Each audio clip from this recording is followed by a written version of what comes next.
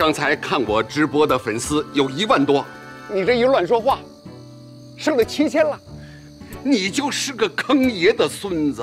没事儿，爷爷，你要是喜欢，我就买点僵尸粉给你。我才不要僵尸粉呢！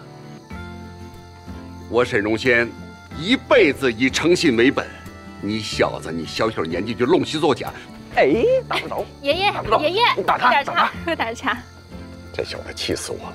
打他。哟，大孙子回来了。神秘回来了爷爷，，Hello。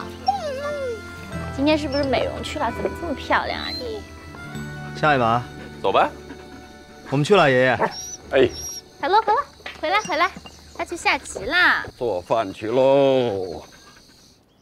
嘿嘿，将军，嘿嘿，嘿嘿，哎呦，知识，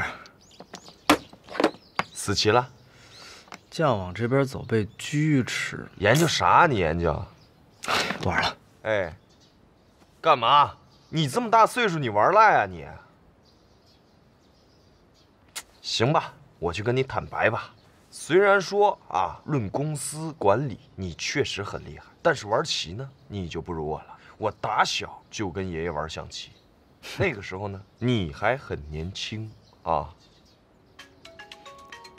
就喜欢静静的听你吹牛啊。喂，魏总，查清楚了，这个田林动物医院的法人叫田冬青，也是医院的院长，最近中风住院了。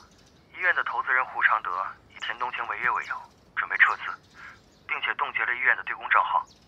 呃密总，你还在听吗？我知道了。男女的？再来一句。哎哎，来行啊，不能白玩，得有点赌注。你说，我想换个新的摩托车。我给你换个摩托车，以后你爱干什么干什么，不管你了，行不行？行，行，行吗？说话算数。行，我输了以后都听你的。是你说的。来来来来，行，来。来。